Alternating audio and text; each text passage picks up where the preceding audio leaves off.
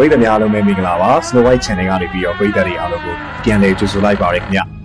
ဒီကနေ့မှလည်းကျွန်တော်တို့ရဲ့ channel လေးကနေတင်ဆက်ပေးသွားမယ့်ဇာတ်လမ်းလေးကတော့စာရေးသူအက္ခစောရေးသားထားတဲ့စောတီကြီးကူပါတာနဲ့ဒိုးရွာတွေကတကြံပွဲဓမ္မဆိုဆိုတဲ့ဇာတ်လမ်းလေးကိုတင်ဆက်ပေးသွားမှာပဲဖြစ်ပါတယ်တင်ဆက်မှုလေးကိုမစခင်မှာပရိသတ်တွေကကျွန်တော်တို့ရဲ့ channel လေးကို like and subscribe လုပ်ထားပြီးတော့တင်သမျှတွေကိုသိနိုင်အောင်လို့ဘေးနားက notification bell လေးကိုလည်းနှိပ်ထားပေးကြပါဦးဗျ ကဲဒါဆိုရင်တော့တင်ဆက်မှုလေးကိုစောင့်လိုက်ကြရအောင်ဗျ။ကြံတွင်းမှာထိခိုက်ဒဏ်ရာရတာကတခုတော့မကောင်းဘူးဗျ။ဘာလို့လဲဆိုတော့သူများတွေလိုကြံမှာမကဲနိုင်တော့ဘူးပေါ့ဗျာ။ကျုံတဲ့အိမ်မှာပဲနားနေရတာပေါ့။ဝင်းမုံရဲ့အကိုရီရိုက်တဲ့ဒဏ်ရာရဲ့ဖျားညောင်ရီကိုခေါင်းပေါ်ပြုတ်ချလို့ရတဲ့ဒဏ်ရာရဲ့ကြောင့်ကျုပ်ကောင်းမှာပတ်တီးကြီးနဲ့ဖြစ်နေတာပေါ့။ပတ်တီးလို့သာပြောရတယ်။ကျုပ်တို့ရွာဘက်တီကခေါင်တော့ဗျ။ခုခေတ်လိုပတ်တီးစာတွေပါတွေဝယ်လို့မှမရပဲ။ ဒီတော့ပစိုးဟောင်းတွေကိုကကြီးနဲ့ကိုက်ဖြတ်ပြီးတော့ပတ်တီးလုပ်ပြီးပတ်ရတာပေါ့ဗျာဟာလက်ကောင်မင်းကခေါင်းပေါင်းကြီးနဲ့တဲခန့်ပါလားကွာအကိုကြီးကကျုပ်ကိုတီကဘာကြီးကွာလုပ်ပြီးစတယ်ဗျသူပြောလေပြောချင်စရာပဲကိုစီးစရာဥပကြီးကပစိုးကွက်ကျဲကြီးတခွင်းလုံးကိုကကြီးနဲ့ကိုက်ပြီးတော့ကျုပ်ကောင်းမှာပတ်တီးစီးပေးခဲ့တာကိုဗျမသိတဲ့သူတွေကအဝေးကနေလှမ်းကြည့်ရင်ခေါင်းမှာခေါင်းပေါင်းကြီးပေါင်းထားသလိုလိုဘာလိုလုံးလဲမလားမစားပါနဲ့အကိုကြီးရာအာ ကောင်းကနားလိုက်တာဗျာကျုပ်လည်းပြုံရင်ခုံတန်းလေးမှာဝင်ထိုင်လိုက်ချင်းခေါင်းကတော့တော်တော်နာပြီးမူတူတူဖြစ်နေတယ်ဗျအကိုကြီးကတော့မြေကြီးပေါ်မှာထိုင်နေတဲ့ဝက်ချမ်းလေးတွေကိုဓမ္မတိုလေးတစ်ချောင်းနဲ့ခွဲရင်အီးဖြာနေရဗျဒါနဲ့လည်းကောင်မင်းယူလာတဲ့ဓမ္မတိုလေးဟာသိပြီးတော့သုံးလို့ကောင်းတာပဲကွာဘာဖြစ်နီးဖြာနေတာညှိတွေကိုတရွှန်းရွှန်းပဲဟေးအကိုကြီးပြောတော့မှသူ့လက်ထဲကိုကြည့်လိုက်မိတယ် သူကင်ထားတဲ့ဓမ္မတူလေးကကျုပ်ကိုအကြိုနေ့မတိုင်ခင်ကဥပဒါပေးလိုက်တဲ့ဓမ္မတူလေးဗျအရင်ကမြိုင်သာကပပဲဆရာကြီးဥရာဂျာလုပ်ခဲ့တဲ့ဓမ္မပေါ့ဗျအကိုကြီးသုံးနေမှာကျုပ်လည်းအဲ့ဒီဓမ္မကိုတတိယသွားပါရင်ဗျသုံးလို့ကောင်းရင်ပြီးရပါပဲဗျထေးခွဲတို့လည်းကောင်းတယ်ကွာဟိုနေ့ကငါမေသုံးဖို့ထင်းပေါက်လေးကြီးခွဲတာတခွန်းခွန်းနေပဲဟေးဒါနဲ့မင်းဒီသားကိုဘယ်ကကောက်လာခဲ့တာဘယ်ကကောက်လာခဲ့ရမှာလဲဗျာအဲ့ဒီဓမ္မတို့တွေက ကျုပ်ကိုဥပဒါပေးလိုက်တာဗျာအကိုကြီးကဓာတ်ကိုတေချာကျင်းနဲ့ဓာတ်ဒီအတိုင်းကြီးတော့ဘာမှမဟုတ်တယ်လို့အနောက်ဆုတ်ကုတ်ဆုတ်ထားပဲကွာဒါပေမဲ့သုံးကြီးမှတော်တော်သုံးလို့ကောင်းတယ်ဓာတ်ကမပေါ့လဲမပေါ့ဘူးလေးလဲမလေးဘူးပြီးတော့လက်ထဲလဲကိုင်းလို့ကောင်းတယ်ကွာချိန်ရင်ချိန်တဲ့နေရာမှန်းရင်မှန်းတဲ့နေရာကိုဓာတ်ထိပဲဟေးကောင်းပါပေါ့ဗျာအဲ့ဒီဓာတ်နည်းနည်းရမှမဟုတ်တာမြိုင်သားမျိုးကနမယ်ကြီးပပဲစရာကြီးဥရာကြလောက်ခဲ့တာလေဗျ အကိုကြီးကမျက်မှောင်ကျုံလိုက်ပြီးတော့ဘေးကနာမည်ကြီးငါတော့တခါမှမကြောက်ဘူးပါဘူးကွာအကိုကြီးနဲ့ကျုံနဲ့စကားပြောနေတာကိုဘေးနားမှာထိုင်ရင်စာဖတ်နေတဲ့အဖေကနားထောင်နေတဲ့ပုံပဲဗျအကိုကြီးစကားပြောပြီးတော့အဖေကအစားအုပ်ကိုစပွဲပေါ်ကိုချရင်းနဲ့မင်းဘယ်သိပါမလဲအကြီးတော်ရဲ့ဦးရာဂျာတရားပဲမင်းတသက်မှမကတော့ပဲကျုပ်လည်းအံ့ဩသွားပြီးတော့ဒါဆိုအဖေကဦးရာဂျာကိုသိလိုက်တယ်ပေါ့သိတာပေါ့ကွာတကိတခါကမြိုင်သားမှာနာမည်ကြီးပေါ့ကွာ အဖေပြောတော့မှအကိုကြီးလည်းရောသလိုလိုရှိသွားတယ်ကျုပ်လည်းသိချင်တာနဲ့ဒါဆိုဥရကြကြောင်းအဖေသိတော့ပြောပြပါဗျာအဖေကခေါင်းငယ်ရင်းနဲ့ငါလည်းတိတ်တော့မသိလိုက်ပါဘူးအဲ့ဒီတုန်းကငါကခက်ငယ်ငယ်ကိုငါအဖေပြောတဲ့စကားတွေကြားဘူးတာပဲမြိုင်သားမှာဥရကြပပဲဖို့ဆိုရင်တိတ်နမဲကြီးတာပေါ့အမှန်ကအဲ့ဒီပပဲဖို့ကဥရကြပိုင်တာတော့မဟုတ်ဘူးဥရကြရဲ့ညီကိုများဆိုပြီးတော့ပိုင်တာလေကွာအဖေကရင်လေးတစ်ခါငှဲ့လိုက်ရင်းနဲ့ ဦးရာကြတော့မှညီကို9ယောက်ရှိရဆိုပဲသူတို့မိကဟိုးအိန္ဒိယဘက်ကဗပဲဆရာကြီးပေါ့ကွာအင်္ဂလိပ်ခေတ်ကပြောင်းရွှေ့လာရင်မြိုင်းသားမှာဗပဲကိုတီးရဆိုပဲသား9ယောက်စလုံးကိုလည်းဗပဲပညာတွေသင်ပြီးတော့သား9ယောက်ကဗပဲဆရာတွေဖြစ်သွားတယ်ဆိုပါတော့ကွာမြိုင်းသားမှာအခုထိဖိုကြီးလို့ခေါ်တဲ့ဝင်းချန်ကြီးတစ်ခုရှိသေးတယ်အဲ့ဒီဖိုကြီးနေရာမှာညီကို9ယောက်ကဗပဲကိုတီးပြီးတော့တန်တယ်ရီလုံချောင်းနေဆိုပါတော့ကွာသူတို့တန်တယ်ရီကလက်ရကောင်းလို့ နာမည်ကြီးရယ်ဆိုပဲအဲ့ဒါထားပါတော့ဖေဟာဒါပေမဲ့ဦးရာဂျာဘာလို့နာမည်ကြီးတာအဖေကရင်လေးပူပူကို၃လေးချက်လောက်မှုတ်လိုက်ရင်းနဲ့ညီကိုခဏယောက်ထဲမှာဦးရာဂျာအငယ်ဆုံးနဲ့အပြင်းဆုံးပဲလေကွာဒါပေမဲ့ထူးခြားတာတစ်ခုကတော့ဦးရာဂျာကတခြားကိုရီလိုလေယာသုံးတဲ့ဒဇင်းတွေပေါက်ကျူးတွေပေါက်ပြားတွေလောက်တာမဟုတ်သူကဓာတ်တစ်ခုတည်းတီးသန့်လောက်တာပြင်းတယ်လို့ပြောရတာကတော့ဦးရာဂျာကစိတ်ကူးပေါက်မှဓာတ်ထလောက်တာကွာ ဓာတ်တလက်လုပ်ရင်လည်းလားနဲ့နှစ်နဲ့ချီပြီးတော့ကိုကြားတယ်သူစိတ်တိုင်းမကြမချင်းအသေးစိတ်အနုစိတ်လှုပ်တတ်တဲ့သူကြီးပေါ့ကွာဒါကြောင့်သူ့ဓာတ်တလက်ဆိုရင်စိုးတော့ကောင်းနေကွာ။ဩဒါကြောင့်ကိုအဖေကရေလေးတစ်ကြိုက်တောင်းလာရင်လေဦးရာဇာဓာတ်ကောင်းလို့လို့တို့ငယ်ပဲမပြောနဲ့။ဟိုးထက်ဘက်ကချင်ပြည်နယ်ဘက်တို့ရှမ်းပြည်ဘက်ကလူတွေပါဆင်းပြီးအလူကြီးအဝင်ချနေတယ်ကွာ။ တခါတော့ကလည်းဘယင်ငံကိုလက်ဆောင်ပြီးဖို့ဆိုပြီးအင်္ဂလိပ်အရာရှိတွေကိုယ်တိုင်ဆင်းဝယ်နေဆိုပဲ။ဒါကြောင့်ဦးရာဇာဓာတ်ကနာမည်ကြီးပြီးတော့သူတို့ပပဲဖို့ကိုလည်းဦးရာဇာပပဲဖို့လိုပဲနမိတ်ကြီးသွားတာပေါ့ကွာကျုပ်လည်းမျက်မှောက်ကျုပ်လိုက်ပြီးတော့ဒါပေမဲ့ဥရဂျာဟာပြင်းနေမှာဒါဆိုဓာရီကတိတ်ထွက်မှာမဟုတ်ဘူးတော့ဒါပေါ့ကွာဥရဂျာစီကဓာလို့ခြင်းတဲ့သူတွေကဘာလောက်ရတယ်လဲဆိုတော့ဥရဂျာဓာလောက်ကင်ဖို့အဖိုးငွေကြီးကိုဓာမလောက်ခင်ကလေးကအကြည့်ပေးရတယ်ပြီ ဓာလောက်တဲ့ကာလာတွင်းမှာလေဥရဂျာစားဖို့တောက်ဖို့ကိုးနေစီးတွေကစလုံနေသေးမရှိအောင်ပြုစုရတယ်ဆိုပဲအကိုကြီးကအဖေစကားကိုနားထောင်ပြီးတော့သူကင်ထားတဲ့ဓမ္မတူလေးကိုမြှောက်ကြည့်နေအဖေပြောတဲ့အတိုင်းဆိုဒီသားတော်တော်တန်ဖိုးရှိဖို့ရတယ်ဗျအေးဘောကွာတုတ်လေထူဆန်းသွားပြီးတော့ဒါဆိုရင်ဒီလောက်ဓာတ်လုံးရမှာပြင်းတဲ့သူစီကနေဒီဓမ္မတူလေးကိုဥမသာဘလို့များရလာပါလိမ့်နော် ကျုပ်ရေရွတ်လိုက်တော့အဖေကသူ့ခွက်ထဲကလက်ကျန်ရေနွေးတွေကိုအကုန်မောချလိုက်ပြီးတော့ဒီတော့ကဒေါ်ဘင်းကြီးတို့ရောက်ကနေထွက်သွားတော့မြိုင်သာမှာသွားနေတယ်မြိုင်သာကကလာကြီးတယောက်နဲ့အိမ်အောင်ကြတယ်ဆိုပဲကွာအဲ့ဒီကလာကြီးကဥရဂျာရဲ့အကိုတယောက်တည်းကွာဒါကြောင့်ဥရဂျာနဲ့ဥပဒါနဲ့ကသွေးမတော်တာမဆက်ပြီမင်းသူဝကြီးတော်မှာပေါ့ကွာသူတူဆိုလေအိမ်တော်မို့ဓာလေးတစ်လက်လောက်လှုပ်ပေးလိုက်တာဖြစ်ချင်ဖြစ်မှာပေါ့အခုမှကြုံလေစိတ်ရည်လဲသွားတော့တယ်ဗျာ ဒါကြောင့်ဥပဒါကကလားတွေနဲ့တိနေတာကိုဗျ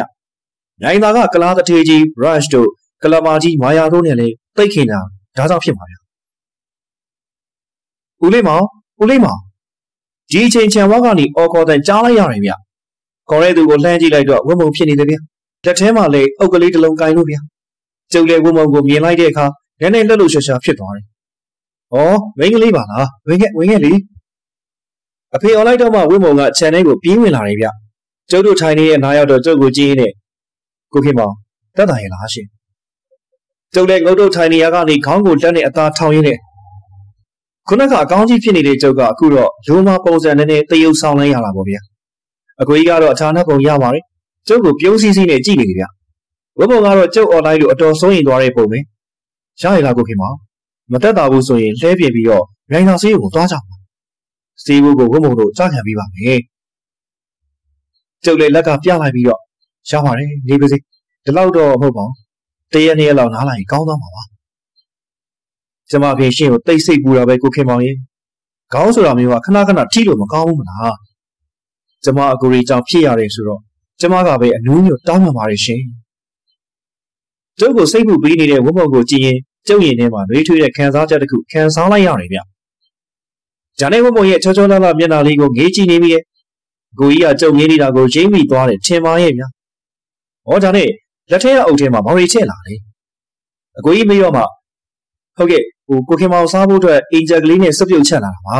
ကိုခင်မောင်အောင်းလာပါနဲ့စားတာရှိတာစားပါနော်ကျုပ်လည်းခေါင်းကိုစက်ကနေငိမ့်လိုက်ပြီးတော့ဟန်ကြလိုက်ကြဝက်မုံရခေါင်းကြည့်ပြီးတော့ဘာလို့လဲမသိဘူး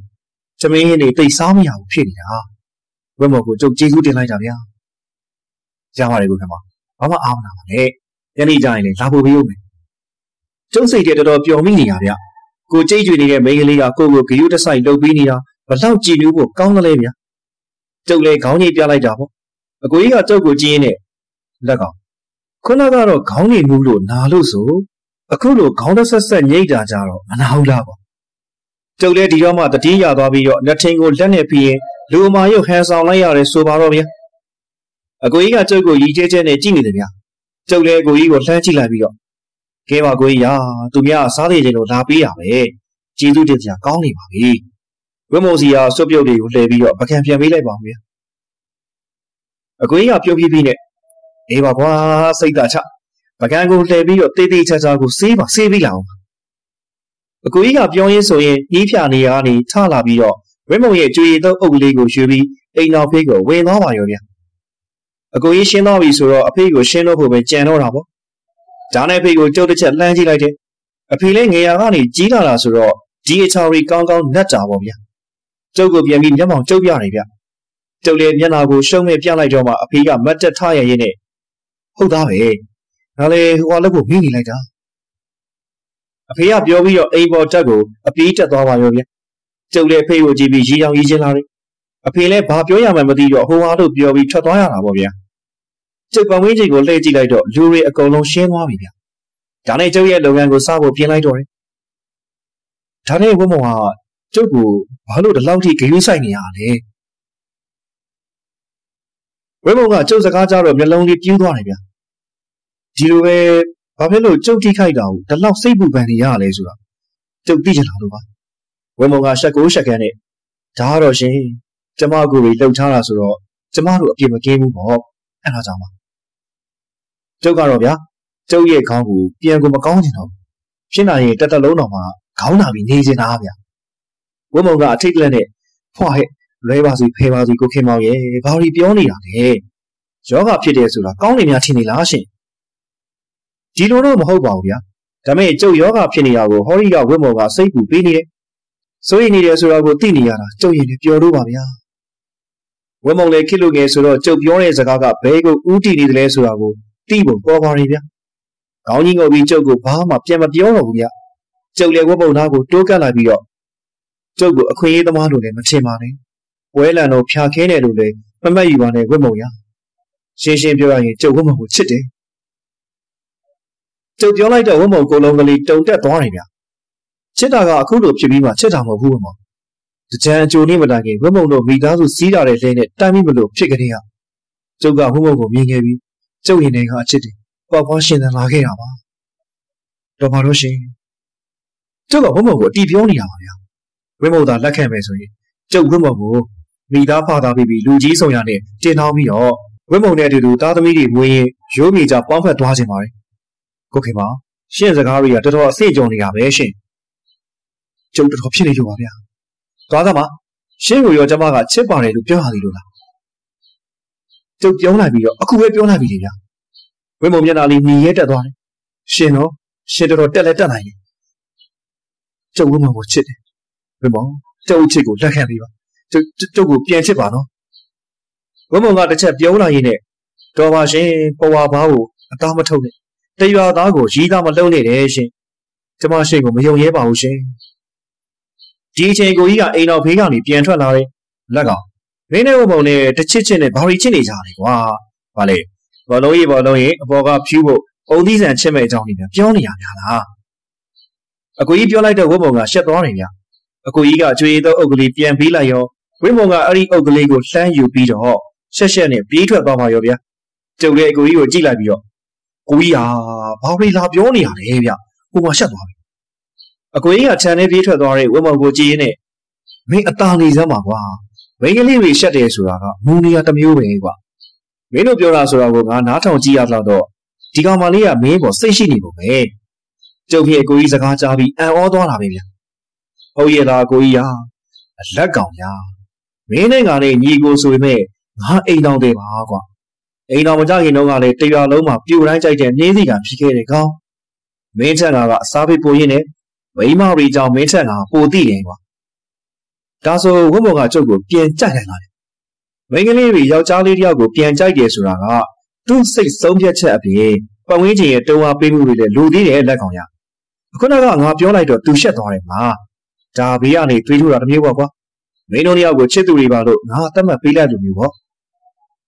ဒီတိုင်းဆိုရင်တော့တိုင်းကြည့်ပါကိုကြီးရာဝင့်မုံနေတာအစင်နေအကူကြီးကျေးဇူးတွေကြုံမမေ့ပါဘူးဗျာ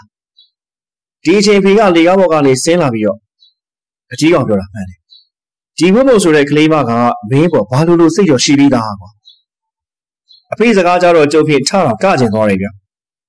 မိန်းကလေးတယောက်ကယောက်ျားလေးတယောက်ကိုစိတ်မဝင်စားဘဲနဲ့ရေလာမြောင်းပြီးမလုပ်ဘူးပါမကြရင်မကြဘူးလို့ထင်နေမှာပေါ့ဒါမှမဟုတ်စိတ်တူပြီးပါရရင်လည်းရိုင်းမှာပေါ့ကွာအခုတော့မင်းကိုမယုံရဲပါဘူးလို့ဘာလို့ပြောခဲ့ပုံထောက်တော့မင်းကိုထက်ကြိုးစားပါလို့အခွင့်အရေးပေးတဲ့သဘောပဲကွာဟာအဖေတကယ်ပြောနေရလားတကယ်ပေါ့ကွာ မင်းအဖေငါဆိုတာကလည်းအိမ်တော်မကြခင်တည်းကတရားလုံးကအပြိုတွေအကုန်ဝိုင်းကြိုက်ခဲ့ဘူးတဲ့ကာလာသားကောင်းပါကွာကျုပ်ကြီးပြောပြီးထတော့ခုံကလိုက်ခြင်းတယ်ဗျာအဖေအဖေပြောရတာမှန်လို့ကတော့အဖေကတော့အိုရကြည့်သေးရဲ့ဗျာဒီအချိန်တွေကမီးဖို့ကြောင်တွေကနေထွက်လာတယ်ဗျာကဲပြိုတိုင်းကြိုက်တဲ့နေစီကန်ကြီးလေချင်းလေးပါလေးလာပေါက်ပြီးစမ်းပါဦးညနေမီးဆိုင်ဖို့ထင်းချမ်းကုန်နေပြီဒီကဖေကအကူကြီးကိုလှည့်ကြည့်ပြီးတော့ အဲ့ဒါမင်းကိုပြောတာကြီးပါမင်းမဲခုနကပြူရိုင်းကြိုက်တဲ့နှင်းစီကလို့ပြောခဲ့တယ်ငါအကူကြီးကလည်းအဖေကိုကြီးနေအဖေနဲ့တရားလုံးကပြူတွေဝိုင်းကြိုက်ရတဲ့နှင်းစီကကြီးဆိုဗျအမေကခါချောက်ပြီးတော့ကဲဟိုလူတွေဒီလူတွေလောက်မနေနဲ့နှင်းစီကနှခိုင်လုံးထင်းခွဲဖို့ကြွကြွအမေမေရအကူကြီးရောဖေရောအိမ်ချေရဲ့ဘက်ကိုထွက်သွားတယ်ဗျကျုပ်ကတော့ပြုံးလို့ပေါ့ဒီလိုဆိုတော့လဲနှင်းစီကဖြစ်ရတာခက်ကောင်းကောင်းပဲဗျ အမေကအိမ်နောက်ဘေးကိုပြန်ဝဲမှာအကိုကြီးကြီးဖြာနေတဲ့နေရာကိုကြီးနေပြီးစမ်းဓမ္မတူလေးတုံးလို့ကောင်းမကောင်းစမ်းကြည့်အောင်မယ်အဲ့လိုပြောပြီးတော့ကျုပ်ရဲ့ဓမ္မတူလေးကိုကောက်ပြီးအိမ်နောက်ဘေးကိုဝင်သွားတာပဲဗျအမေဝင်သွားပြီးတော့ကျုပ်နားမှာတောက်ခောက်တန်ကြီးကြီးကြားလိုက်ရတယ်ဗျကျေတာလေးတော်တော်ကျေသလိုပီပီတန်းတာကြီးကိုကြားလိုက်ရတာဗျကျုပ်ဖြစ်လမ်းဖြတ်ပြီးအနားပတ်ဝန်းကျင်ကိုလှည့်ကြည့်လိုက်တော့ဘာဟာကောင်ထဲမှာမတွေ့ရအောင်ဗျဒါပေမဲ့ကျုပ်မျက်လုံးတောင်သားမှာတော့ဖြူဖြူကြီးတစ်ခုမီးဖို့ကြောင်လေးကိုလှိတ်ကနေဝင်သွားတာကိုတွေ့လိုက်ရတာဗျ တေးသေးချာချာပြန်ကြည့်ရောလေဘာမှမရှိတော့ဘူးဗျအမေမီးဖို့ကြောင်လေးဝင်သွားဗျကျုပ်လည်းဖြီတွေးလိုက်လေတောက်ခောက်တာလေအမေမကြည်တဲ့လိုမျိုးတောက်ခောက်သွားတာအဲဒီလိုတွေးပြီးတော့တရေတမောအိတ်မယ်ဆိုပြီးခြံရှိတရက်ပင်အောက်မှာခင်းထားတဲ့ကိုပစ္စည်းကိုထွက်လာခဲ့တာပေါ့ဗျာအိမ်မယ်ဆိုပြီးမျက်လုံးကလေးမင်းစင်းနေတော့ရှိသေးရဲ့ဗျာအားကနေအော်တန်ကြီးကြားလိုက်ရလို့ကျုပ်လန့်သွားပြီလေအော်တန်ကအိမ်ထဲကလာတာဗျာတခုခုများဖြစ်သလားဆိုပြီးကျုပ်အိမ်ထဲကိုပြေးဝင်ခဲ့တယ် မိဖို့တွေကိုဝင်လိုက်တော့အချင်းမှာထင်းခွဲနေတဲ့အကိုကြီးနဲ့အဖေနဲ့လည်းမိဖို့တွေရောက်လာတယ်ဗျအမေကမိဖို့ထဲမှာထိုင်နေရင်သူ့လက်ချောင်းတွေကိုလက်နဲ့အုပ်ကင်ထားတယ်အမေရဲ့လက်ကြားတွေကနေသွေးတွေလည်းစီးကြလို့ဗျာအမေဘာဖြစ်တာလဲအကိုကြီးကပြေးပြီးကြည့်လိုက်တော့အမေရဲ့လက်တန်းကပြတ်ထွက်နေတယ်ဗျလက်တန်းထိပ်ဖျားလက်တစ်စစ်လောက်ကကျမ်းမြေပေါ်မှာအတိုင်းသားကျနေပါရောအမေကတော့အော်ရင်ငိုရင်ပေါ့အမေဒါမှကြက်သွန်နေတဲ့အတူဓမ္မတို့လေးကလည်းကြနေရမလို့ အမေလက်ဓာတ်ထိရလို့ပဲကျုပ်ကယူဆလိုက်ပါလေအဖေကအမေကိုကြည့်နေလက်ကောင်ဘာလုပ်ညာလဲမင်းအမေလက်ကိုဥမတ်ကြီးရဲ့အစင်းနီမုတ်သိပ်ပြီးပတ်တီးစီးပြီးလိုက်စမ်းပါကွာနေပူပူနဲ့တွေးမတိန်ဒုက္ခပဲအမေကိုပြုစုပေးကြတာပေါ့အမေရဲ့လက်တန်းကလက်တစ်စစ်လောက်ပြက်သွားတယ်ဗျအမေကိုမီးဖို့ကြောင်လေးကတဲထုတ်လာပြီးအိမ်ရှိကိုခေါ်လာတဲ့အချိန်ပါပဲမီးဖို့ကြောင်လေးကနေအိမ်တော်ဖေးကိုဆင်းတဲ့တကဝမှာလူတယောက်မတ်တက်ရက်နေတာကိုဖြက်ကနေတွေးလိုက်ရတယ်ဗျ ကျုပ်တီတီချာချာလှည့်ကြည့်တော့ဘသူမှမရှိတော့ဘူးလူတယောက်မြင်လိုက်ကြတော့တေးကြပါရဲ့ဗျလူကအသားပဲပဲနဲ့ကလားလိုပုံစံမျိုးပဲဗျခါချပြီးတော့ရက်ကြည့်နေတာကိုကျုပ်မြင်လိုက်ရတာဒီတိုင်းဆိုရင်တော့တခုခုတော့ထူးနေပြီဆိုပြီးကျုပ်သိလိုက်ရတယ်။နိုင်ဝက်လောက်နေတော့မှအမေကနည်းနည်းမေးလို့မြန်လို့သိရော်တယ်ဗျ။အဖေကမေးကိုမေးရမှာ။ဘလို့ဖြစ်တာလဲမတန်းရ။လက်တန်းလက်တစစ်ပြအောင်ဘလို့လုပ်ပြီးထိခဲ့တာလဲ။ကျုပ်လည်းအလက်ကောင်ရထားတဲ့ဓမ္မတူလေးကိုစမ်းသုံးမယ်ဆိုပြီးတော့ မိဖို့လည်းဝင်ခဲ့တာပဲရှင်။ဓမ္မလေးကလည်းလှီးလို့ဖြတ်လို့လည်းသိကောင်းတာပဲ။ကြက်တုံတစုံထောင်းမယ်ဆိုပြီးကြက်တုံကိုလက်ပေါ်တင်ပြီးရမှာဘလို့ဖြစ်ပြီးတော့ကိုယ့်လက်ကိုလှီးမိတယ်လဲတော့မသိပါဘူးတော့လက်တန်းလက်တစစ်ပြက်ကျသွားတော့မှကြက်တုံထိတ်ဖျားလို့ထင်နေတာနားလည်းမနာဘူးကျင်လည်းမကျင်သွေးထွက်လာတော့မှလန်ပြီးတော့ online မိရပါပဲအဖေကတပြင်းချပြီးမင်းကလည်းကွာကြက်တုံကိုလက်ပေါ်တင်ပြီးရတယ်လို့စက်နီတုံးနဲ့လှီးပါမလား ဟိုတော့အရင်ကလည်းတုတ်တက်တယ်လို့ဒီလိုပဲလှီးနေကြပါတော့အရင်ကဓာတ်နဲ့မတူဘူးလေမေရအမေခုလှီးတာဥရတာရဲ့ဓာတ်ကိုဗျကျုပ်ဝင်ပြောတော့မေကခေါင်းရင်းရင်းနဲ့အေးနော်ဥရကြလက်ရစွမ်းနေလို့ပဲကြားပဲကြားဘူးအခုတော့ကိုရိပါတော့လက်တစစ်ပြက်သွားတာဘလို့ပြက်သွားမှန်းကိုမသိလိုက်ဘူးကြီးကောင်နင်လည်းအဲ့ဒီဓာတ်သုံးတာတတိထားသုံးစမ်းအကိုကြီးကခေါင်းကုပ်ပြီးတော့ကျုပ်သုံးတော့ဘာမှဖြစ်ပါဘူးမေယာ ဒီလိုနဲ့အမေကိုပဲပြုစုပေးရတာပေါ့ဗျကျုပ်စိတ်ထဲတော့ထင်နေတယ်ဗျဘာလို့လဲဆိုတော့ဒီဓာတ်ကဥရကြဆိုတဲ့ကလာကြီးလှုပ်ထားတဲ့ဓာတ်မဟုတ်လားကျုပ်တွေးလိုက်ရတာကလည်းကလားလိုလိုဆိုတော့အေကန်တာတခုခုထူးဆန်းတာဖြစ်နေပြီလို့ပဲထင်လိုက်မိတယ်ဗျာကျုပ်စိတ်ထဲရှိတဲ့အတိုင်းဆိုဥပဒါကြီးစီပြီးသွားခြင်းပဲမဲ့တကြံအကြက်နေရေရီပတ်ကြနေတာဆိုတော့မသွားခြင်းဘူးပေါ့ဗျာခေါင်းကလည်းပတ်တီးရီနဲ့ဆိုတော့ရေဆိုမခံချင်တာလည်းပါတာပေါ့ဒါနဲ့ပဲကျုပ်လည်းဒီထားလေးကိုပြန်ယူပြီးတော့ အငယ်မတို့အခန်းသားကထရင်ကြားထဲမှာထိုးဆိုင်ထားလိုက်တာပေါ့ဗျာညနေလောက်ကျတော့ရေပတ်သွားကြတဲ့အငယ်မတို့နှစ်ယောက်အိမ်ကိုပြန်လာကြတယ်ဗျကြံရည်ဆိုတာအနေရကင်းနေဆိုပေမဲ့အိမ်ရောက်လို့ရေကြိုနဲ့ပြန်ရည်မချိုးရင်တော်တော်ရားနေမို့လားအငယ်မတို့လည်းအိမ်ရောက်ရောက်ချင်းရေမိုးချိုးဖို့လောက်ကြတာပေါ့တဟီနဲ့ဟီလာထနေတာနဲ့ကျုပ်လည်းခါထပြီးတော့ငယ်မရီမင်းတို့ဘလို့ဖြစ်နေကြအမေးလက်ဓာတ်ထိလို့လက်တန်းတစ်စစ်ပြတ်သွားတယ်ဟာမင်းတို့ကတိတ်ပြီးဟီလာထမိတယ် ဟုတ်လားဘလို့ဖြစ်ရလဲကိုလက်ရင်ပြောနေရင်ကြားပါတယ်အဲ့ဒါဒီနေ့ညနေစာကိုဒီလိုတွေတောင်းဝင်ယူလိုက်တော့အငယ်မနှစ်ယောက်မျက်နှာစူပုတ်သွားကြတယ်ဗျပြီးတော့ရေချိုးဖို့ပြင်ဆင်ကြတာပေါ့ဗျကျုပ်လည်းခေါင်းအုံနေရနဲ့အိမ်ပေါ်ကနေမဆင်းဘူးပေါ့အိမ်တော်ဖေးရေသုံးတဲ့နားမှာအငယ်မတို့ရေချိုးတန်တပန်းပန်းကိုကြားရတယ်ဗျနောက်တော့ရေချိုးတန်တွေရက်သွားတော့တာပါပဲကျုပ်လည်းစောင်းတုပ်ကိုတဲကြီးမဲကြီးဖက်နေတော့အိမ်ရောက်ကနေအော်တန်ကြီးကြားလိုက်ရပါရောအတန်ကမြမငယ်ဆုံးရဲ့အတန်ဗျ ကျုံတဲ့အကူကြီးလည်းအိမ်ရောက်ကိုပြေးဆင်းသွားတော့အငယ်မကထမိန်ရေရှားကြီးနဲ့နေပေါ်ပက်လက်လန်းပြီးလဲချနေတယ်တကူလုံးလေးတစ်ဆက်ဆက်တုံလို့ဗျာမျက်လုံးတွေကိုတော့သူ့ကိုအပေါ်ပိုင်းမှာပတ်ထားတဲ့တပတ်နဲ့အုပ်ထားတယ်အကူကြီးကပြေးသွားပြီးအငယ်မပကုံးကိုပုတ်ရင်းတယ်အငယ်မနေပါဖြစ်တာလေကလာကြီးအခန်းထဲမှာကလာကြီးအငယ်မအခန်းထဲကိုကြည့်လိုက်တော့ဘာမှမရှိပါဘူးဗျာနေစိတ်ချင်တာနေပါပါဟာအခန်းထဲမှာဘာမှမရှိပါဘူးဟာ မဟုတ်ဘူးရှိတယ်တမီးမျက်စိနဲ့တက်အပ်မြင်လိုက်ရတာကလားကထုံးကြီးတယောက်မျက်လုံးကြီးတွေကဝင်းလက်နေတာပဲတမီးသူ့ကိုကြည့်လိုက်တော့တမီးကိုမျက်စောင်းထုတ်ပြီးပြန်ကြည့်တယ်အဖေကအိမ်ပေါ်ကနေဆင်းလာရင်လည်းညနေနေဝင်ကြီးတယောက်ကြီးဒီလိုလက်တာမကောင်းကဲရော့ပေးရည်တောင်းတာအားလုံးကောင်းတော့မှာပါစိတ်မပါနဲ့အငယ်မကတော်တော်ကြောက်နေရမလို့သူအကြောက်ပြေအောင်မနေချောလိုက်ရသေးတယ်ဗျကလားတရေတကောင်ကတော့ကျုပ်တို့ကိုနှောက်ယှက်နေပြီဆိုတာကိုကျုပ်သိလိုက်ရတယ် အငယ်မကအိမ်ရောက်ချက်မနေရဘူးဆိုတာနဲ့အိမ်ပေါ်တက်ကိုခေါ်တင်ထားရတယ်ဗျလုံးညာညီမကတော့မီးဖို့ချောင်းထဲမှာချက်ပြုတ်နေလေအတော်မောင်တဲ့အချိန်မှာခြံရှိမှာအော်တန်ကြားရတယ်ဗျဦးလေးမောင်ဦးလေးမောင်အတန်ကြားကနေဖေကကျုပ်ကိုလှမ်းကြည့်ရဗျအကူကြီးကလည်းမျက်ခုံးပေးပြတယ်သူတို့ဆိုလိုတာကတော့ကျုပ်ကိုသွားနေခြင်းတဲ့ပုံပဲအတန်ကြားကနေလာတဲ့သူကဝင့်ပုံမှန်ကျုပ်တို့တီးပြီးသားပါပဲဗျဒါနဲ့ကျုပ်ပဲအိမ်ရောက်တက်ကိုဆင်းခဲ့ရတယ်ဟောဝင့်ပုံမှန်လား ဝင်းမုံကဂျိုင်လေးတစ်လုံးကိုကင်လို့ဗျကိုခင်မောင်ဦးလေးမောင်မရှိဘူးလားအဖေကဘယ်သွားလဲမသိဘူးထွက်တော့ထွက်သွားတာဝင်းမုံကမခိုးတီးကိုပြုံးရင်းနဲ့ကိုခင်မောင်တို့ကြက်ကြော်ရင်ငါ6ရင်လာပို့တာဟာကျုပ်လည်းဝင်းမုံသားကိုဆင်းခဲ့ပြီးသူ့လက်ထဲကဂျိုင်ကိုယူလိုက်တယ်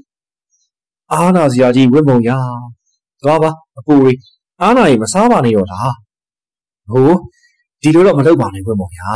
ကျုပ်ကဝင်းမုံလက်ရကိုစွဲလန်းနေပြီဗျ ဖြစ်နိုင်ရင်ဝက်မုံချက်ကျွေးရာတွေကိုနေတိုင်းစားချင်နေရောတာရှင်ကတော့ပူပြန်ပါပြီဒီဟင်းတွေကဝက်မုံချက်တာမဟုတ်ဘူးဝက်မုံရဲ့အမေချက်တာကျုပ်ဖြင့်ရှက်သွားတာပဲဗျာဝက်မုံကမြို့မှာကြီးရသူမလို့ကြောင်းတက်လိုက်အိမ်ပြန်လိုက်နဲ့အလုံးမအားဘူးကိုခင်ပါဒါကြောင့်ဝက်မုံကချက်တာပြုတ်တာတွေဘာမှမလှုပ်တတ်ဘူးဒါကြောင့်ဝက်မုံဆုံးဖြတ်ထားတာကဝက်မုံနဲ့လက်တွဲမဲ့သူကဝက်မုံကိုတက်တက်လုံးသမင်းနေဟင်းနေချက်ကျွေးနေတဲ့သူဖြစ်ရမယ်လို့ဆုံးဖြတ်ထားတယ်ကိုခင်ပါ ကျုပ်လည်းမျက်နှာကွက်ကနေပြက်သွားတယ်။ဝင်းမုံကကျုပ်ကိုကြည့်ရင်းနဲ့ဟာလေကိုခင်မောင်မျက်နှာကဘာလို့ရှုပ်နေသွားလဲ။ဟာမဟုတ်ပါဘူးဗျာ။မမေပြောပါ။ဝင်းမုံကအိမ်မှုကိစ္စချက်တာပြုတ်တာမနိုင်ဘူးဆိုတာသိလိုက်ရတော့ဝင်းမုံကိုစိတ်ပြက်သွားတာမှာ။ကျုပ်ကောင်းခါပြလိုက်တယ်။ဝင်းမုံကတော့တိတ်ကြေနေဖို့မရဘူးဗျာ။ကျုပ်အမှန်တိုင်းပြပြမယ်နော်။ကျုပ်ဆိုတဲ့ကောင်ကလည်းထမင်းချက်တဲ့နေရာမှာပါရမီမပါလာဘူးဗျာ။ကျုပ်ချက်တဲ့ထမင်းကို9ရက်လောက်ငတ်ပြက်နေတဲ့ခွေးတော်မှာ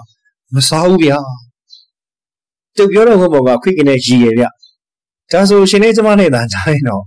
သမင်းတော်စားရပါမလားပဲစိတ်ဟူပါနဲ့ဗျာကျုပ်မချက်တတ်ပြီမဲ့ကျုပ်အမေကဟင်းချက်တော်ပါတယ်ဗျာဟာတော်တော်မွေးရကြိုနေတဲ့သားလေးပဲဒါတော့တားဟုတ်ချင်းချွေးမောက်ကိုလည်းချစ်ရမယ်ဆိုတဲ့စကားရှိရမှာရှင်ကတော်တော်ပြောတတ်တဲ့သူပဲကျမတော့ဒီစကားပုံကိုမချဘူးဒီစကားပုံကအခုမှထွင်လိုက်တာဗောဗျ ကျုံတဲ့ဝိမုံနဲ့လေလေးဖြောင်းနေတော့တောက်ခေါက်တဲ့အခြေကြီးတစ်ချက်ကြားလိုက်ရတယ်ဗျဝိမုံလည်းဒီတန်ကြီးကြားလိုက်တယ်ထင်ပါဗျစကားပြောနေရင်တုံတက်သွားနေဗျဒီလူကဘလို့လူကြီးလဲဝိမုံကတနေရာကိုကြည်ရင်ပြောနေရတဲ့ဘာပြောလဲဝိမုံခုနကကလိုင်းတီအောင်အိမ်ချင်းရင်တစ်ပင်နာမှာမတ်တက်ရက်ပြီးဝိမုံတို့စကားပြောတာကိုစိုက်ကြည့်နေတယ်ငါကျုပ်ဖြင့်ဘာပြောရမှန်းတော့မသိတော့ဘူးဗျအဲ့ဒီလူကြီးကကိုခင်မောင်တို့နဲ့အမျိုးတော်လားကျုပ်တို့အိမ်မှာကလားမရှိပါဘူးဗျာ မဖြစ်နိုင်တာပဲခုနကနေမြင်လိုက်ရတဲ့ဥစ္စာဝမောင်ကပြောဆိုရင်တကူလုံးတုံတက်သွားနေဗျပြီးတော့သူ့လက်မောင်းလေးကိုသူ့ပွင့်ရင်းနဲ့တော့ရမယ်တော့ကိုခင်ဗျာဝမောင်ဘလို့ဖြစ်တယ်လဲတော့မသိဘူးစက်သိန်းကြီးထောက်လာပြီးတော့ချမ်းတက်လာတာဝမောင်ကကျိုင်းကိုစပွဲဘော်ကိုတင်ပြီးတော့ထွက်သွားပါရောဗျဂျန်လေးကိုလည်းလှဲကြည့်လဲကြည့်နေရဲ့ဗျကျုပ်တော့ဘာရီဖြစ်မှန်းကိုမစင်းစားတတ်တော့ပါဘူးဗျစဉ်းစားမိရတခုကတော့ခုနကဓမ္မတူလေးပဲဗျဒါနဲ့ကျုပ်လည်းထရံမှာစိုက်ထားတဲ့ဓမ္မတူလေးကိုဖြုတ်ပြီးတော့ ခါးကြားညက်ပြီးခြံလေးကထွက်ခဲ့ပါရောဟေးလက်ကောင်ဘယ်သားမလို့လဲကွမိုးချုပ်နေပြီလေဥပဒါကြီးပဲလှဲ့မလို့ဖေကကျုပ်လည်းဥပဒါကြီးဘက်ကိုခတ်တက်တက်ရှောင်းလာခင်းလိုက်တော့တယ်ညမိုးချုပ်ပြီဆိုတော့ရေပတ်တော့ဦးပါဗျာဒါမဲ့နေ့လေကစော်ကားသားထားတဲ့ရေကတော့ရွာလေတန်းမှာအိုင်နေပါသေးတယ်ရေအိုင်နေဖက်တီကိုရှောင်းတရင်းနဲ့ဥပဒါကြီးရှိကိုရောက်ခဲ့ပါရောဗျဥပဒါကြီးကမိကွက်ကလေးလင်းနေပြီမဲ့လူမထွေးဘူးဗျ ကျုပ်လည်းခြံစည်းကိုပန်းချုံနေတာကိုကတ်ကြည့်ပြီးတော့ဥပဒါအိမ်မှာရှိမရှိကိုချောင်းကြည့်နေမိရဲ့ဒီအချိန်မှာပဲခြံထဲကနေရေလုံးကြီးတစ်လုံးကဝုန်းကနေထွက်လာပြီးတော့ကျုပ်တစ်ခုလုံးကိုစိုးသွားပါရောဗျာဟာသွားပါပြီဘယ်သူမှရေပတ်တာလဲကွာကျုပ်ပြောလိုက်တော့ဥပဒါကဇလုံးတစ်လုံးနဲ့ပြေးထွက်လာရင်းနဲ့ဟာအလက်ကောင်ပါလားကွာမင်းကွာအတန်ပေးဘာမှပေးနဲ့ဟောဗျာကျုပ်အတန်ပေးလို့ပဲရှိသေးတယ်ဗျာဒါနဲ့ရေတွေကလည်းအောက်တိုးတိုးနဲ့နမ်းလိုက်တာဗျာဘာရေတွေလဲ ငါအိမ်သားတွေကရေဦးကတော်တော်အနေကျနေတာနဲ့အိမ်သားရေဦးလဲပြီးတော့ရေတွေကိုခြံရှိကတစ်ပင်နေစီလှမ်းပတ်လိုက်တာပါကွာဗျာ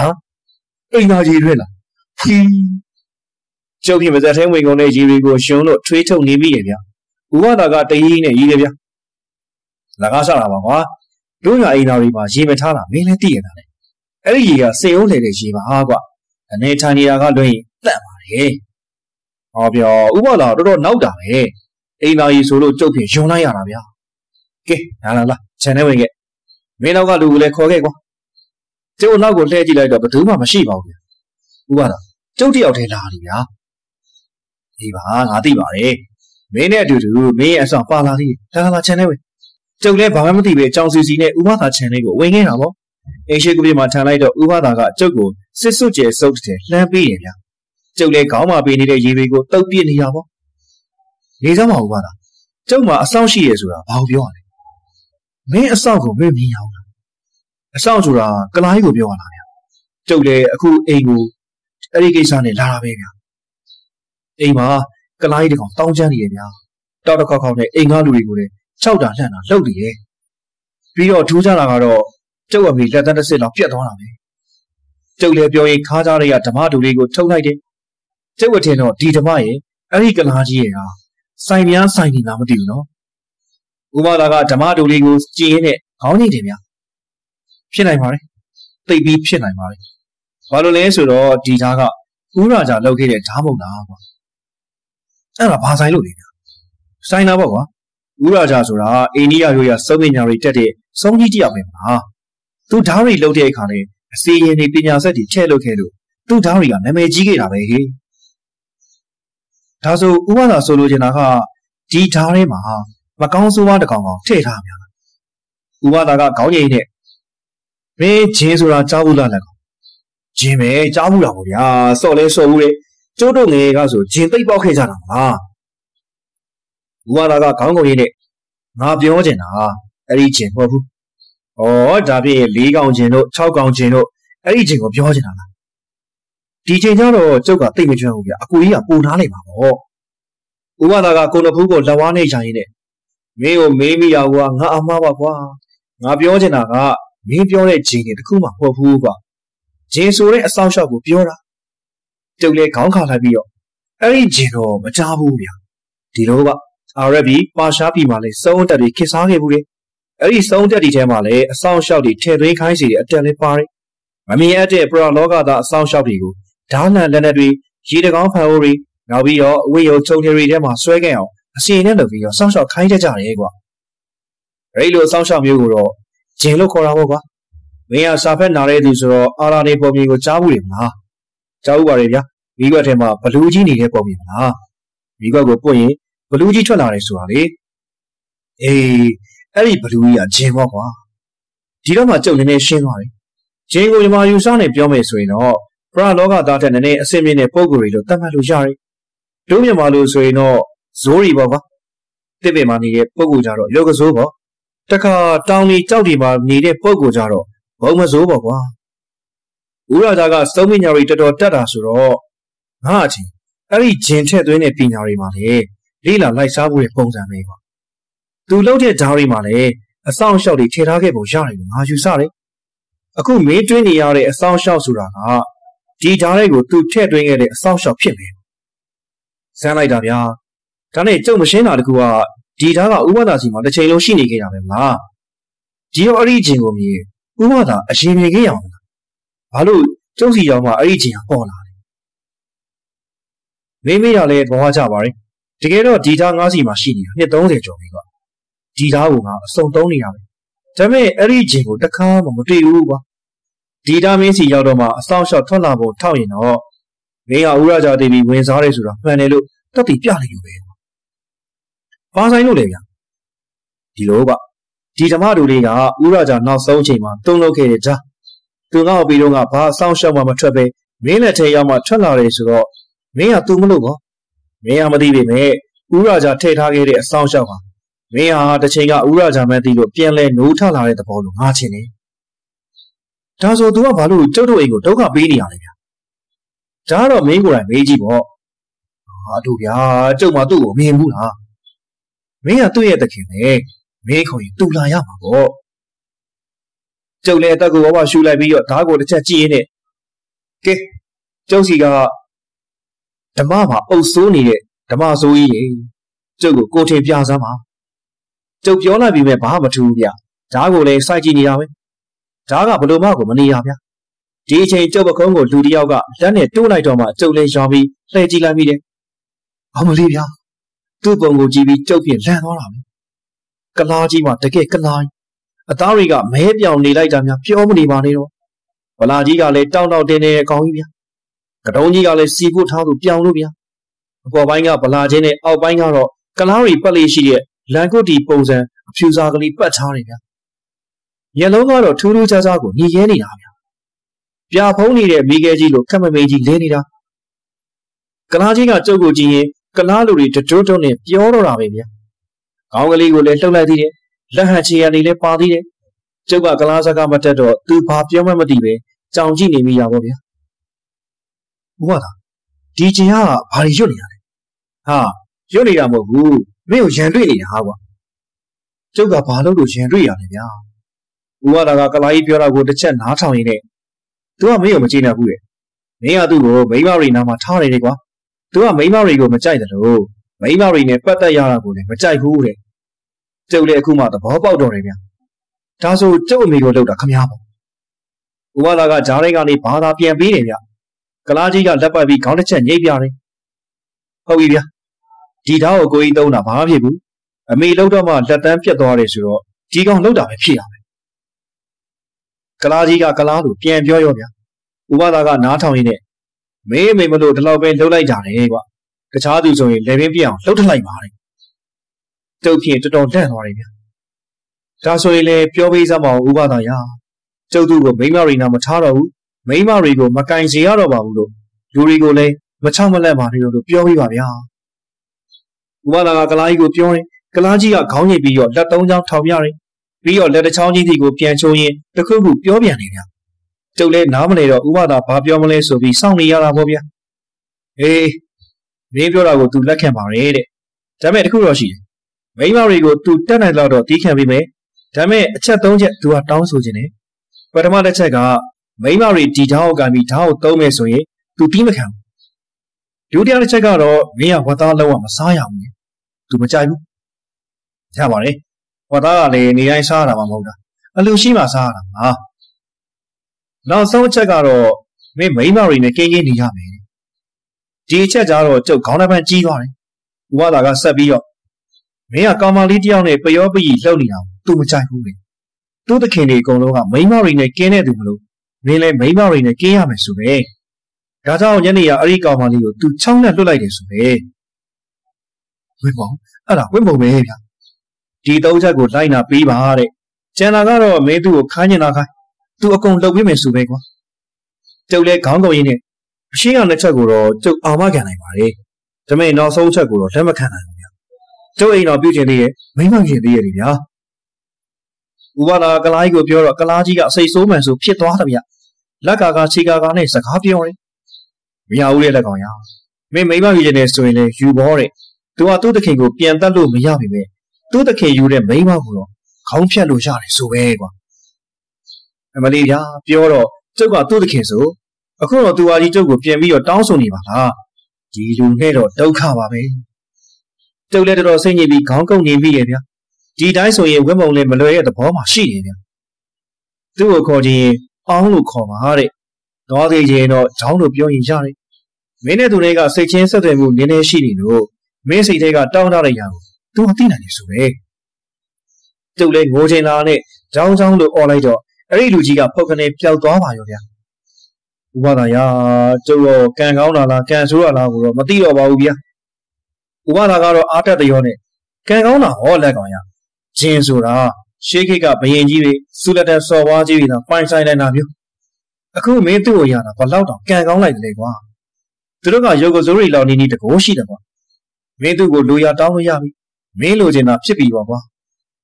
တော်စမ်းပါဗျာကျုပ်တခြားဘာမှမလိုချင်ပါဘူးအခုချိန်မှာကျုပ်အလိုချင်ဆုံးကမိန်းပါဗျာဥပဒါကဘာမှပြောနိုင်တော့ပဲကျုပ်ကိုပဲကြည်နေရောတယ်ကျုပ်လည်းပြောရင်ပြောရင်မိုးချင်လာတယ်ဗျာဘဲနဲ့ဗျာကံကလည်းစိုးတယ်ကောင်မလေးတယောက်နဲ့အစင်ပြေတော့မယ်ဆိုပါမှဘယ်ကပေါ်လာမှမသိတဲ့ဂျင်ဆိုတဲ့ကောင်ကြီးကကာစီကာစီလုံနေသေးတယ်။ဘာသာရေးကျုပ်ဒီကောင်ကြီးနဲ့တွေ့ရကံကောင်းတာမဟုတ်ဘူးကံဆိုးတာ တကယ်ကိုကံဆိုးတာပါဗျာ။ကျုပ်လည်းပြောရင်ငိုချင်လားနဲ့ငိုနေမိရဲ့ဗျာ။ဥပဒါကကျုပ်ကိုပခုံးပုတ်ပေးနဲ့စိတ်လေးပါလေးထိမ့်ပါအောင်အလက်ကောင်ဗျာ။တော်ပြီဗျာကျုပ်ပြန်တော့မယ်။အေးဟောဒါနဲ့မနှက်ဖြန်တကြံတက်နေတော့လက်ကောင်။ကျုပ်တကောလုံးထူပူသွားနေဗျာ။အတက်နေအတက်နေတော့ရောက်ပြီလား။ဥပဒါကခက်ပြုံးပြုံးနဲ့အတက်နေတော့ရောက်ပြီလက်ကောင်။မင်းလောအောင်တော့ပုံပြီးရောဟေး